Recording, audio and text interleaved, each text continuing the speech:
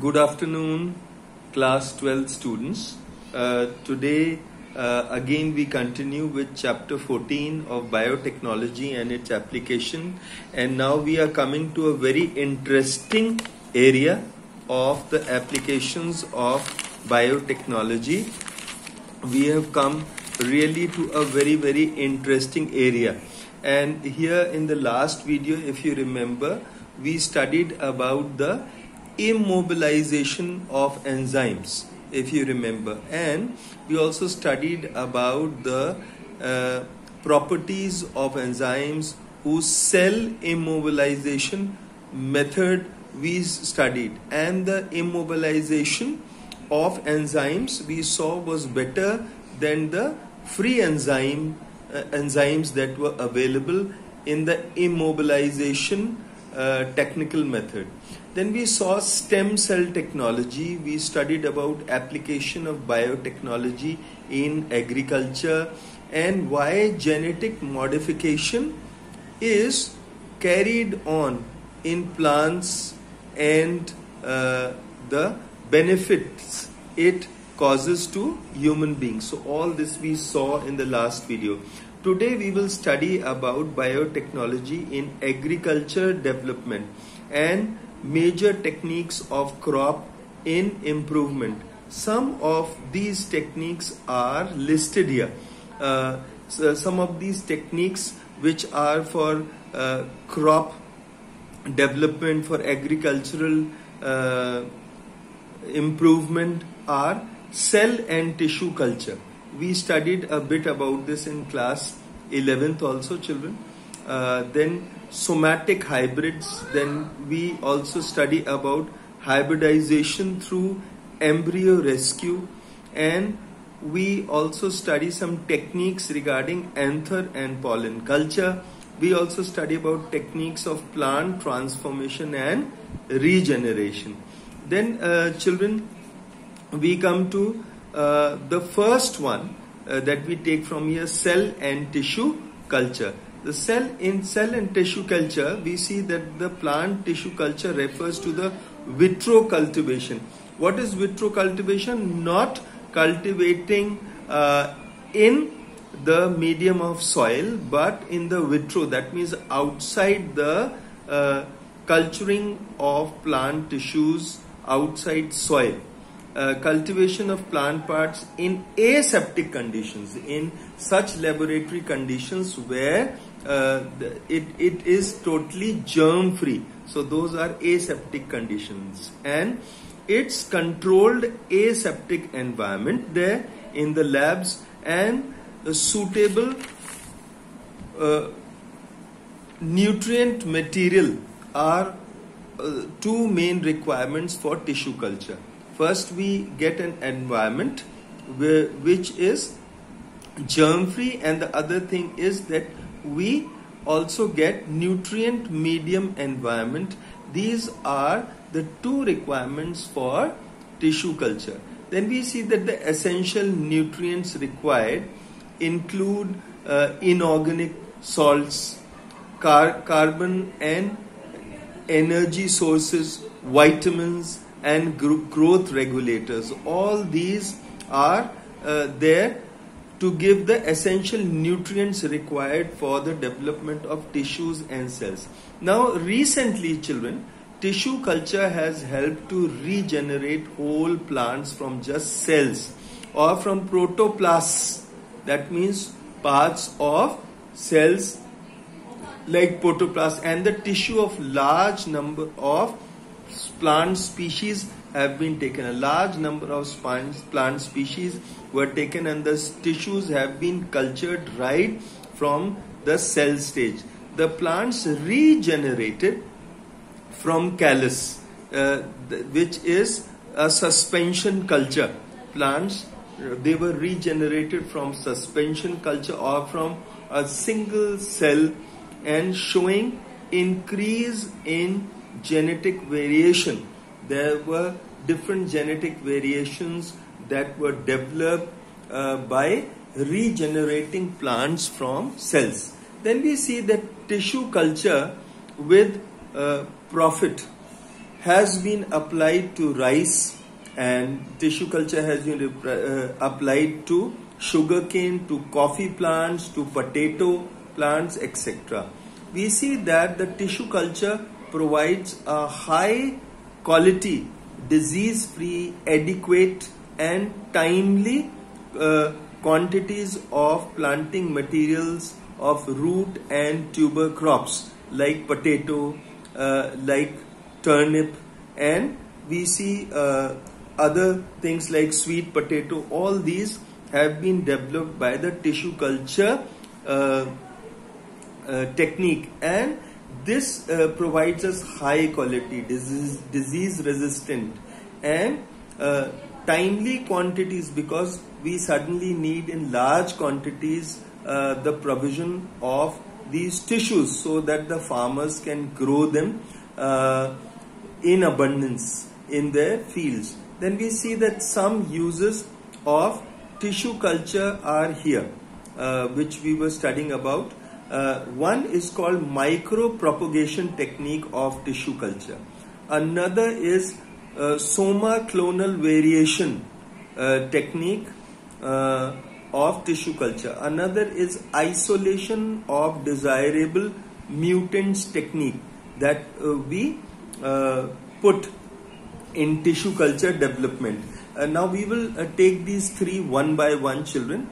In micro uh, propagation, if you see here, the micro propagation technique of propagation which involves the cell. First, it is taken at the cell stage, a very minute cell stage it is taken.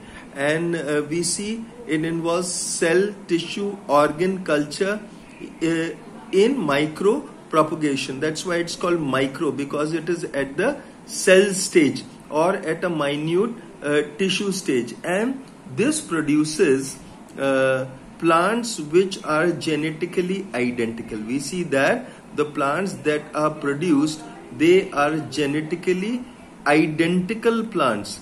Uh, like we had the plant here, the similar kind of variety of plant is uh, developed they, that are genetically identical plants and it's possible to raise large uh, progeny or large number of uh, clones from a single cell in a very short time because so many farmers they require it uh, and it's possible uh, by taking cells from the apical dome of the plants the cells are taken right from the top from the apical dome of the cells. Why? Because these are uh, disease resistant areas. The apical parts of the plants or the apical dome of plants, uh, these are possible to get plants which are devoid of viruses or devoid of infections. Then we see that automatic plants develop from tissue culture at a mass scale.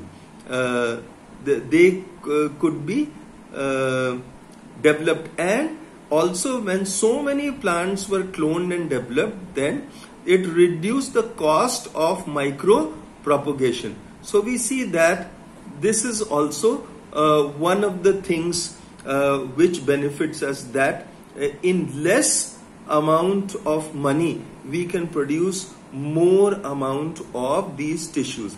The next uh, tissue culture technique that we will study about is known as soma clonal variation. In soma clonal variation, when plants are regenerated through tissue, we see here this is soma clonal variation.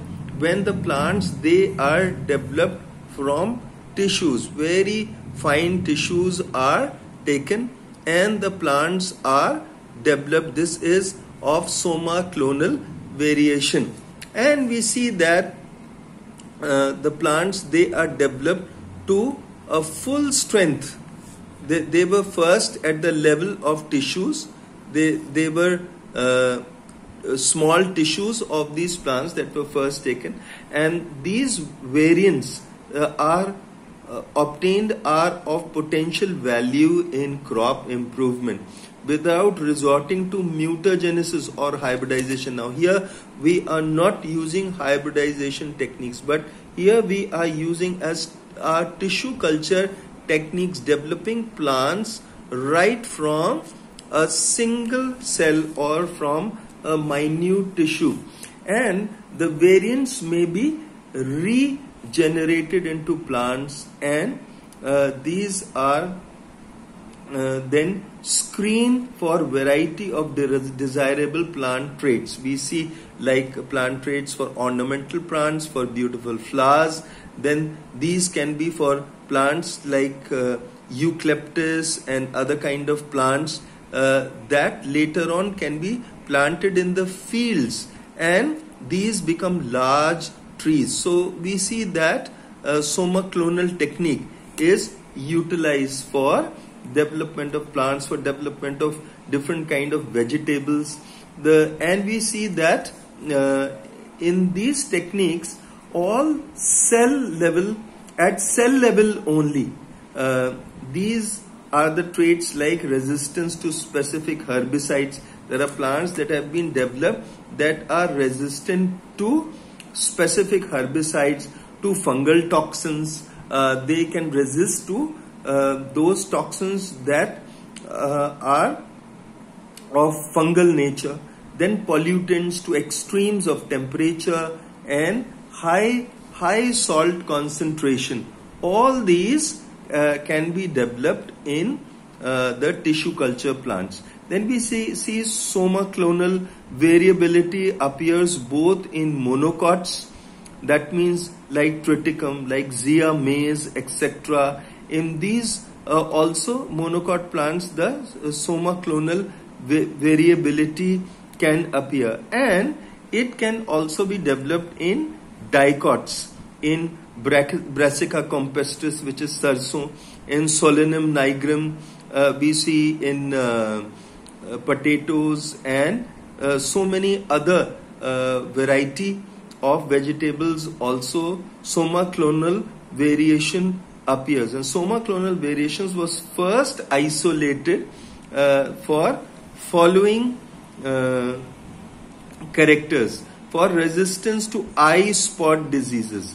Uh, this was caused by a helminth uh, called Helminthosporium sacchari and so this uh, disease was caused by a certain helminth or a, a worm uh, which pertains to Helminthes um, family. And we see that uh, resistance to such diseases was developed. Then resistance to Fiji disease.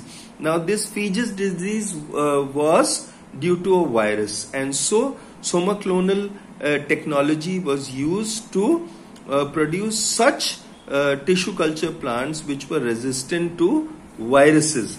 Then we see uh, that uh, there were plants that were developed which were resistant to downy mildew. Now, what is downy mildew? Uh, downy mildew is also a kind of uh, fungus uh, which is Sclerospora sacchari.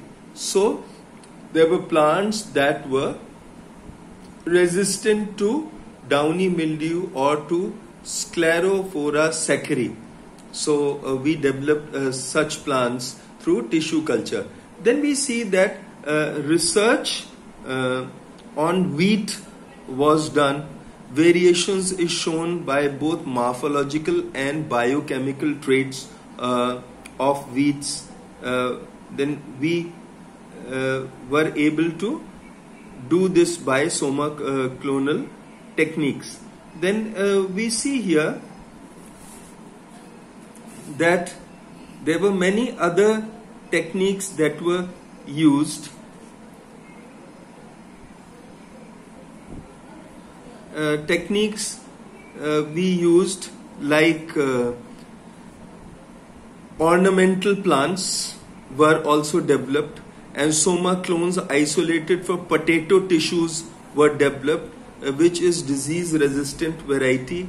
Then uh, we also saw that uh, we developed a, a technique for ornamental plants which also developed through soma clonal techniques. So all these plants they were developed. Then we see isolation of desirable mutants was developed and uh, in this technique uh, successful and effective isolation of mutants has been achieved. As, uh, certain mutants uh, are isolated and these are achieved by cell culture that are resistant to diseases, to herbicides, they are resistant to salt, salt or to cold uh, weather. So they are tolerant to cold or they are salt tolerant. Then we see then cells that are resistant uh, to lethal concentration of diseases. Uh, uh, toxins are allowed to regenerate into whole plants. Then we, uh, we see uh, that the toxin the toxins they were allowed to grow in the vicinity of these cells and because these cells were resistant to these toxins later on these plant cells were developed and regenerated into whole plants so that these plants could stand against the herbicides against the toxins that are there in the fields. Then we see that the isolation method is uh, used to raise tobacco plants resistant to wildfire now, what is wildfire, children? It is not the forest fire, uh, which you might think, but the isolation method is used to raise tobacco plants that is resistant to a bacterium which is known as Pseudomonas tabaci. And this uh, bacterium Pseudomonas tabaci, it is uh, able to burn uh, the tobacco plants, and that is why uh, this is known as the wildfire.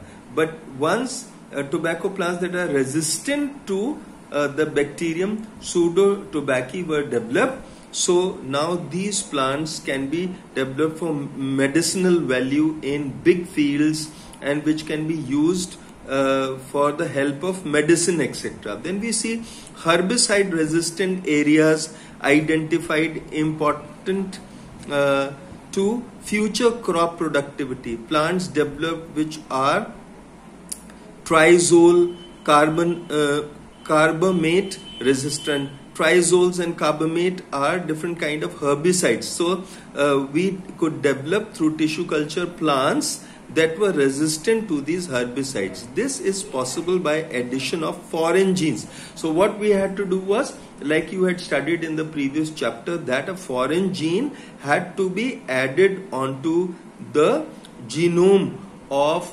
a certain uh, bacteria. Likewise, uh, these foreign genes were added to the genome. And these are obtained in several varieties of plants which are resistant to herbicides uh, like corn. We have rapeseed which is reared for oil etc in tomatoes also uh, we could develop uh, herbicide resistance uh, through foreign genes then in potatoes, in tobacco, and in soya bean. Then we see that cloning a resistant gene and inserting in a crop species by transformation. We had studied this technique of transformation. How uh, a clone resistant gene could be inserted in the crop species so that we could transform these crop species into resistant uh, plant species. Then we see salt tolerant plants were developed through tissue culture through isolation of desirable mutants or isolation of desirable uh, traits, characteristics and salt tolerant plants were developed. This has, has been established in capsicum, in datura plant and in rice etc. So uh, children, we have studied uh, up till now about the three uh, techniques in tissue culture and we would go forward from here to study about uh, somatic hybrids in the next video. So wish you all the best. Have a good day. Thank you.